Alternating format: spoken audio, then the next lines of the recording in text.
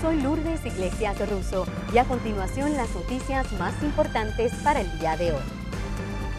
En noticias locales, el proyecto que busca poner a la Autoridad de Energía Eléctrica en manos privadas representa un golpe millonario al presupuesto de los municipios y pone en peligro sus precarias finanzas.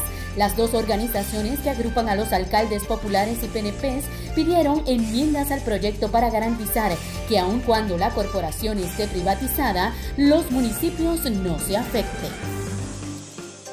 El presidente del Comité de Recursos Naturales de la Cámara Federal, Rod Bishop, insistió en que la ley que creó la Junta Federal de Control Fiscal le da poderes a ese ente para implantar la reducción de beneficios laborales sin el aval del gobernador y de la Asamblea Legislativa.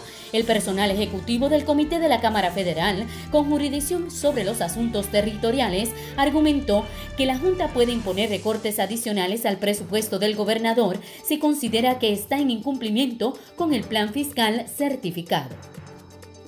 En noticias internacionales, el gobierno del presidente Donald Trump recomendó la aplicación de aranceles del 25% a las importaciones de mercancía china por 50 mil millones de dólares para sancionar al presunto robo de tecnología estadounidense por parte de Beijing.